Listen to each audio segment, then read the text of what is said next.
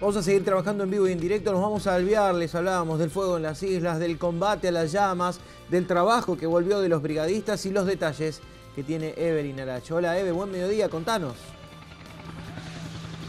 Buen mediodía, Leo. Bueno, esta imagen lo dice todo, ¿no? Los brigadistas están marchando, son un puñado, pertenecen a la Policía Federal, están a punto de subirse al helicóptero que los llevará a uno de los dos focos que han vuelto irrespirable a la ciudad de Rosario, también a la localidad de Alvear, donde estamos ubicados nosotros en el aeródromo, pero que sigue generando un gran daño, ¿no? Un verdadero ecocidio. Allí los vemos con sus herramientas, con su manguera, eh, con una mochila que les permitirá pasar el día mientras alumbre el sol. Ahora los días son más largos, seguramente retornarán más tarde de lo que lo hacían en invierno, pero la sensación que nos queda como decía Sonia antes, con la inseguridad, con el fuego en las islas, es más o menos la misma, ¿no?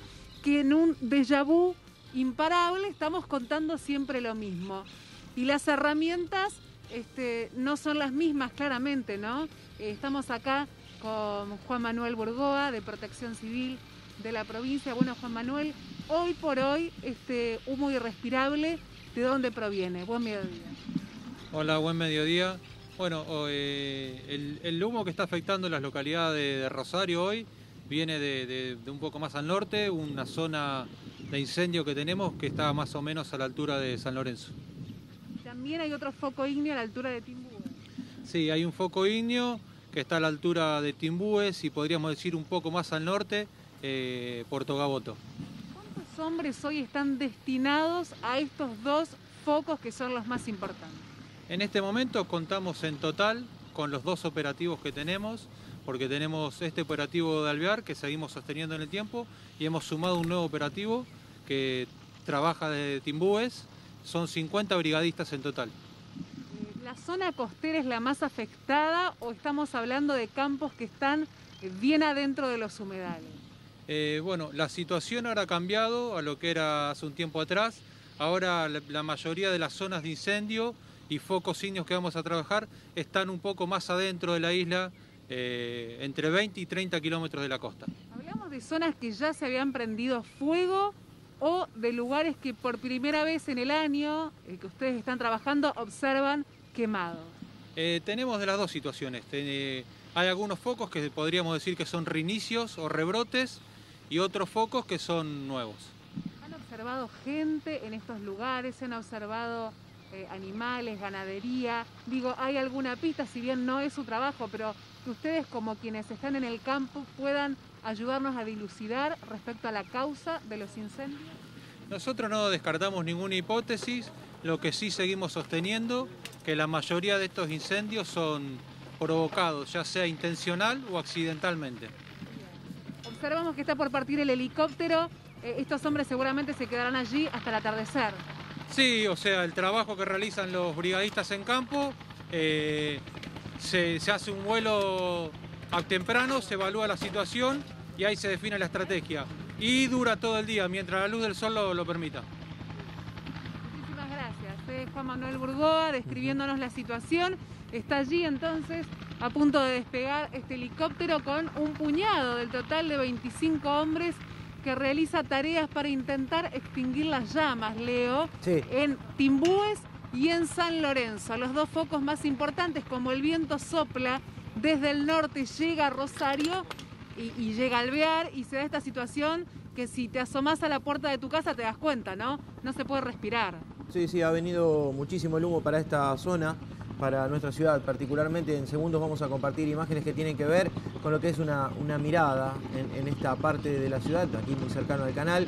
Y ahí vemos ¿no? que salen los brigadistas otra vez, la historia que se repite desde hace ya algunos meses, el trabajo incansable y la falta de resultados, ¿no? en definitiva, porque el fuego vuelve a aparecer en cada, una, en cada uno de estos días, ¿no? lamentablemente.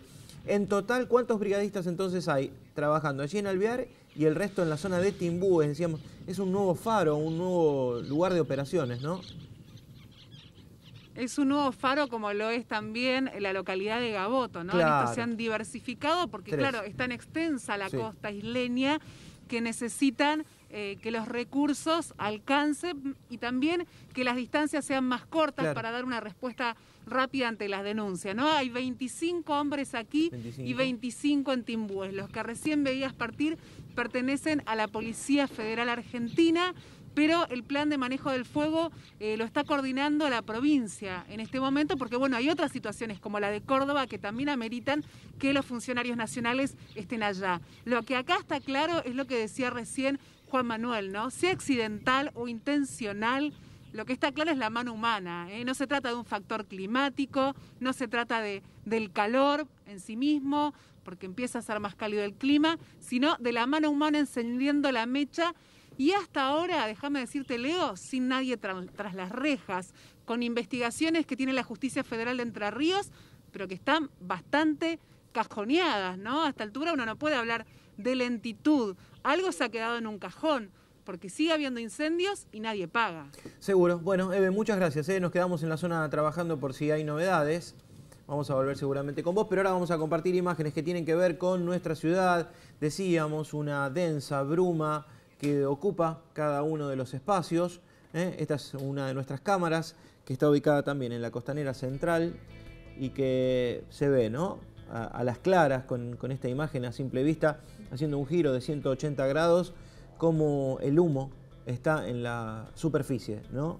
Eh, como el humo está allí en ese sector y cómo complica además de la visibilidad en algunos lugares donde es más denso, en otros la respiración porque estamos así. Inclusive me ha pasado hoy, en, horas de la mañana, de estar alejado del río Paraná, de la zona costera, eh, más en la zona oeste, y hasta allá se sentía o se percibía el olor a humo y además se notaba en, la superficie. Bueno, así estamos. Eh, con el humo, otra vez, temas recurrentes de este 2020 que lamentablemente no nos da tregua en ningún aspecto.